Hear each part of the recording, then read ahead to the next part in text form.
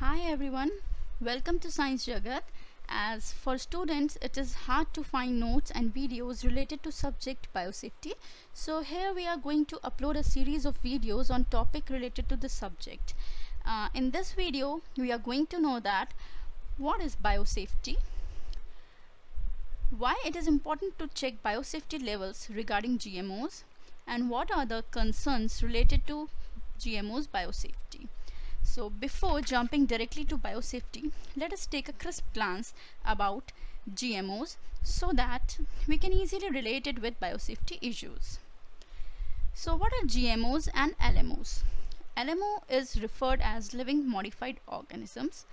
Uh, a genetically modified organism is an organism whose genetic material has been altered by introducing a gene or by its, its silencing uh, using genetic engineering technique also known as recombinant DNA technology. Or we can say that transgenic organism is a subset of GMOs are organi organisms which have inserted DNA that originated in a different species. So here by making GMOs we are doing major changes. This gene transfer can be interspecific or intraspecific. The gene can be introduced in a plant from any source like uh, bacteria, virus, fungi, animals. Uh, thus, it is overcoming reproductive barrier by gene transformation for production of novel products. And this is a big breakthrough, really. Uh, such alterations of genetic material can change the organism metabolism, growth rate, and responses to external environment factors. These changes can increase potential risk to human health also. As uh, there are so many risks and controversies surrounding the use of GMOs, biosafety assurance is necessary and it is required. Uh, these issues of GMOs are with which biosafety is actually dealing with. Okay, so uh, here I'm going to show you a table. In this table, it is showing some GMO products. So some of them are already approved and some of them are in the production, uh, in the development mode okay in the production mode.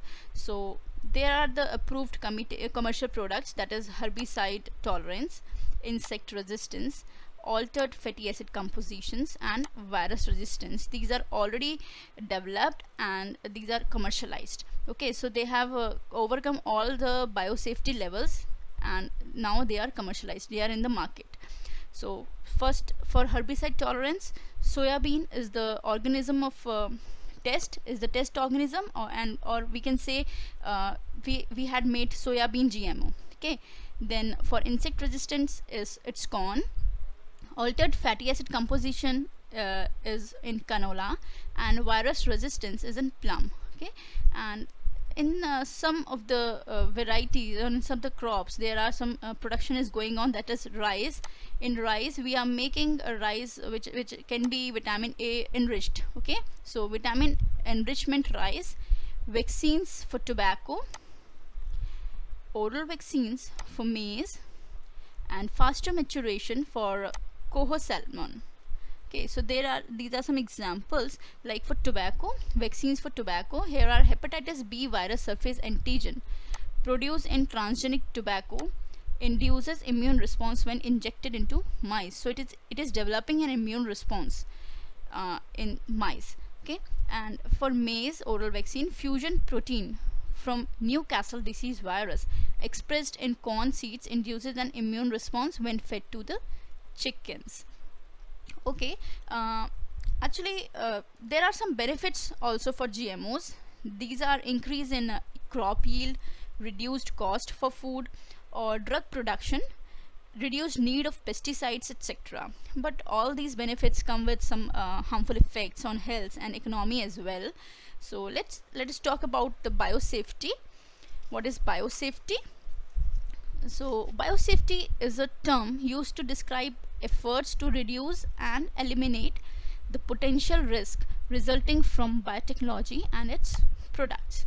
As the genes are derived from various organisms as we see in GMO, uh, when we talk about GMO and LMO, concerns raised regarding safety of such kind of organisms uh, since the beginning of technology in uh, 1975 and guidelines and regulations put in places for uh, the biosafety regulations right so the first GMO derived product from animal is insulin for animal is insulin approved in 1982 and first GM crop that is tomato it was approved in 1996 in USA. Uh, so what are the major concerns or issues with GMOs for which we have to deal with biosafety or which have to be assured that they are uh, safe for us, they are safe for our health. So let's see what are the issues and what, what, are, what are the concerns which we read in uh, GMO products, okay? So first of all, it is uh, labeling GM and non-GM food. GM is for genetically modified here. So labeling genetically modified and genetic and non-genetically modified food. Second is antibiotic resistance gene in GM food. Uh, see, uh, we know uh, that antibiotic resistance, just think about it, antibiotic resistance genes which is inserted in crops is served to us as a food. And it is going it in, in it in our gut and uh, affecting the bacteria or normal microflora of our gut. Yeah uh, they, it can produce resistant bacteria in our gut. So there are so many concerns related to these kind of uh, topics which i'm showing you here.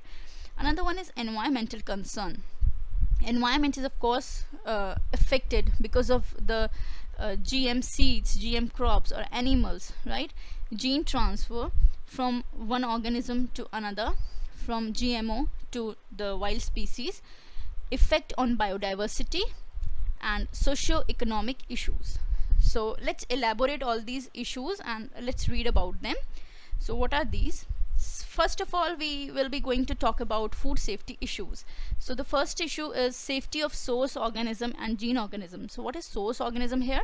See we are use when we are making gmos we use two two kind of organism. One is the donor who is donating the desired gene and another one is the recipient who is receiving the desired gene right? So here we are talking about the source organism from where we are taking out the inserted gene okay so a first is safety of inserted DNA so here the gene of interest which uh, we are transforming from one organism to another it should make similar product which we desire okay or which, which we think about and make sure that it has been inserted in correct location of the recipient DNA else it would not be the same uh, effect okay then another one is safety of DNA safety of DNA of what? Safety of DNA of the recipient. Okay? If our insert uh, will go and uh, transform any uh, or incorporate in any uh, place in any location of the genetic material then it would be a hazard it, it would be a disaster it would be a blunder for us right? So if the gene of interest incorporated at wrong place then it would be of course a disaster or if the insert is in successful place we have to check whether it is changing normal functioning of uh, other genes present in the recipient DNA okay? Now another one is uh, uh, safety of antibiotic resistance markers. Okay? So I just told you about it. I'm going to elaborate in another section. Second one is safety issues of newly developed product. So what it is about? When we develop a new product we should be careful that the product should not be toxic or it should not change its composition uh, when when formed in a new body right or in a new crop okay in a new environment so the product should be the same composition should be of same composition should be of same function right? So uh, first is potential for toxicity. That is check whether the product formed should uh, not be toxic while entering the body through food or after digestion. Okay and b is the potential of allergenicity see the food the product we are the gmo we are eating with the product with the desired product it can cause allergy okay? Because that product is not found in the wild type and you are making a gmo and there's a new product in that tomato. If, to, if you take an example there's a new product in that tomato and you are eating that tomato it can produce some uh, side effects okay? It can be allergenicity. So these all kind of problems like toxicity allergenicity these are checked in clinical trials in uh, mice and rabbits but we should pay attention on this and we should we have to check about it okay? So the product should not be allergic. And the C is safety of any unintended effect. What do you mean by unintended? Unintended is which we did not expect okay? Which we did not assume okay so unintended, uh, unintended effects are or, or uh, these kind of effects can uh, be like accumulation of any product in the body or any other health issues which we did not assume it can happen right? Now third is equivalence of composition that is amount of desired product of the gene should be accurate. Gene should form product only if it is required okay? Then uh, we can come on the fourth point that is retention of nutritional value. Yes of course. When uh, we are uh, adding up a new gene a new trait uh, and we are thinking that it will it will it increase its quality. It, its its nutritional value. So it so it should retain that. Okay. So the product should not change its nutritional value or it should not suppress or the new product should not suppress the other uh, nutrients present already present in the crop or in the vegetable or whatever. Okay? So five. Fifth point is the human dietary exposure. How much desired product is produced by gene in a genetically modified plant and how much amount is served and retained by the human body? Okay? So the amount should be accurate as required. Okay we sometimes we uh, cook food and then we eat it. Sometimes uh, many times in fact we eat food some of the uh, vitamins are absorbed and some of the vitamins are eliminated from the body. So we should check how much amount is absorbed by the body. Is it sufficient or is it over the normal? Okay because it can both harm the body or it can affect in the another way to because uh, it can hinder the absorption of other minerals and uh, like okay uh, other minerals and vitamins. So what is the next topic? It is labeling of GM and non-GM food. See customers always have rights to choose the kind of food they they are eating they want to eat. So GMO food should be labeled. The related issues is the need for a certification agency specializing in the certifying the GM nature of a product. However, labeling may create confusions among cons consumers and add to the cost of GM products. Actually, uh, labeling should be there. We should know what kind of genetic modified product it is. There is just only a protein that is modified, uh, that is produced. It is uh, um, having some vitamin uh, quality different or some additional vitamin some additional mineral or the, just the size of the rice is bigger what kind of GMO it is? And in case of farmers they should know that uh, what kind of seed is there. They, uh, they are they are purchasing uh, genetically modified seed or if they are purchasing a normal seed and why is the difference in the rate is there? So they should know that there should be a labeling and certification about that. Okay? So this is all about labeling Another point is antibiotic resistance gene. See the transfer of antibiotic resistance from the GM food consumed by people into the bacteria inhabiting the human gut. What, whatever we eat, it, goes in our gut. Okay, so if we are eating something which have antibiotic resistance gene or a product which is causing uh, damaging bacteria, so uh, it can also affect the microflora present in our gut uh, or it may resist it may provide resistance to the bad bacteria already present in our gut or the good bacteria. So which might result in a disease causing bacterial population to become resistant to antibiotic right? So the, the researchers should continue to remove more rapidly all such markers from GM plants and utilize alternative markers for the selection of new varieties. Now environmental concerns, loss of biodiversity effect of transgenic plants on population dynamics. It, transgenic plants can affect population dynamics of target either targeted or non-targeted pests. See microorganisms plants and animals all have combined effect on biodiversity. So GMO is a new variety and it is not natural. So somehow GMOs contribute to biodiversity in good or bad manner. Hmm? now another one is cross pollination cross pollination is actually another issue which has to be checked that GMOs are able to cross pollinate or not. If they are uh, cross pollinating then there are chances to there there are chances for gene flow which we have inserted in that uh, GMO crop and it can produce uncontrollable plant varieties okay? It can produce mutated plant varieties or different plant varieties or super weeds so ne in next topic we are going to uh, read about emergence of super weeds and super bugs so what are su super weeds super weeds are weeds which is extremely resistant to herbicide created by transfer of gene from GMO into the wild plant. So this kind of uh, species is called as superweed. This kind this kind of organism is called as superweed. And what are superbugs superbugs are the transformed bacteria which we have transformed to enhance its usefulness. Like uh, we many times we are using e. coli as a transforming bacteria in large scale setups to produce insulin. Okay so it, it is a kind of superbug right? So the bacteria we are transforming to enhance their quality is superbugs. So this is a kind of loss of biodiversity. We are producing something something not natural. Okay we are developing some new varieties. Huh? Knowingly unknowingly we are doing that. And it is affecting environment it is affecting biodiversity. So next is potential increase in use of herbicides. Development of resistance of herbicides can be opted. Now gene transfer into the environment. It is a very major issue of course. All of them are major issue but this is also a major issue like gene transfer can be uh, done uh, by two types. That is it can be horizontal gene transfer or it can or it can be vertical gene transfer.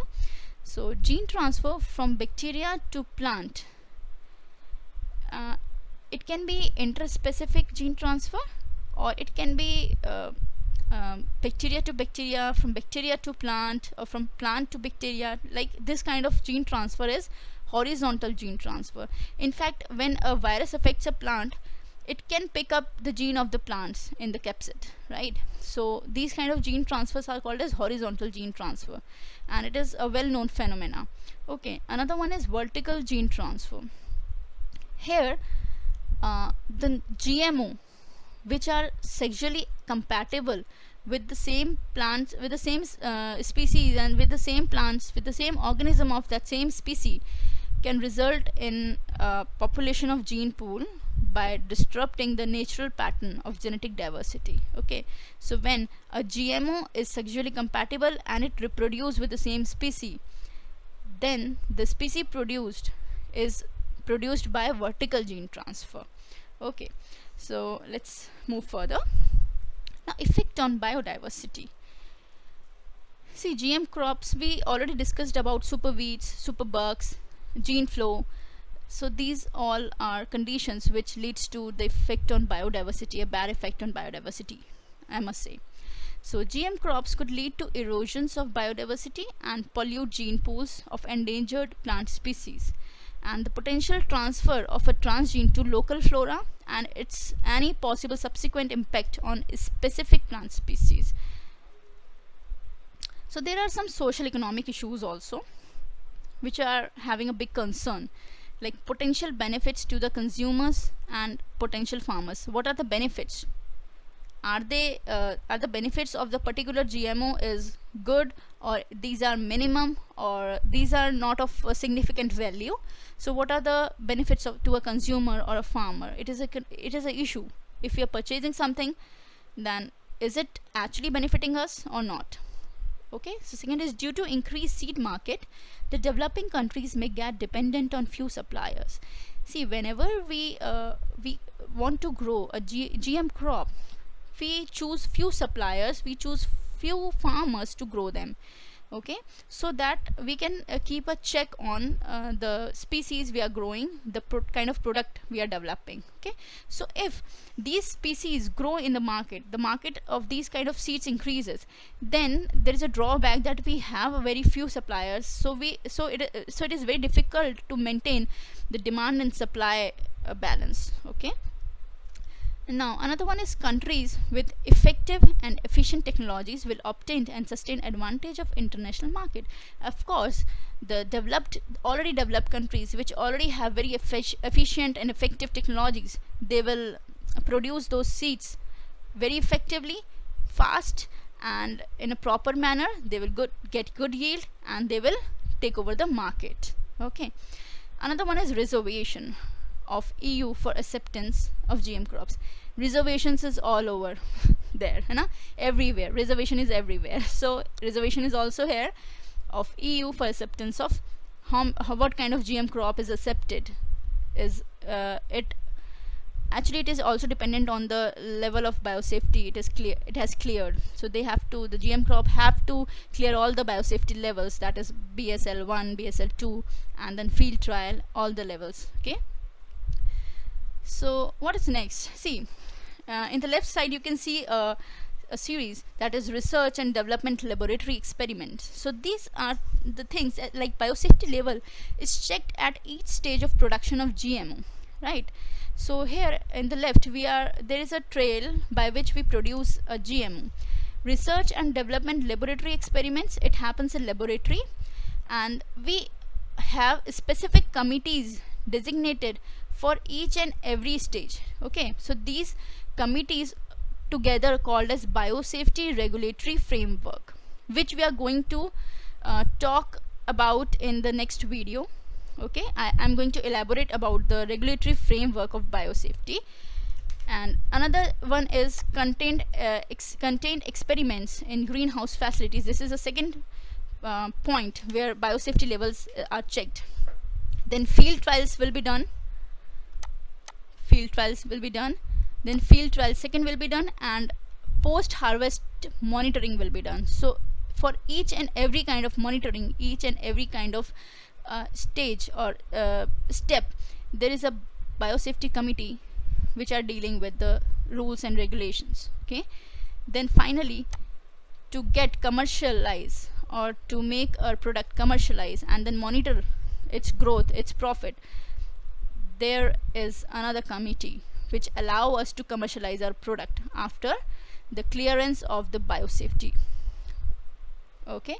So here you can see biosafety regulatory framework rules 1989 notified under the environmental protection act in 1986 so india's biosafety regulatory setup consists of actually six committees at the apex which derive their authority from rules from 1989 so here are the list of six committees this is recombinant dna advisory committee institutional biosafety committee review committee on genetic manipulation Genetic Engineering Appraisal Committee, State Biotechnology Committee uh, Coordination Committee, District Level Coordination Committee. So at each, here you can see uh, stages of production of GMO in the left and at each level to assure safety different committees which derive rules and regulations and check for the possibilities of a GMO product development uh, you can uh, see it on right. So in next video of biosafety series I will discuss about regulatory setups and elaborate the function of different committees. So if you have not subscribed yet, then press the bell button to get notifications of another videos and like and share the videos.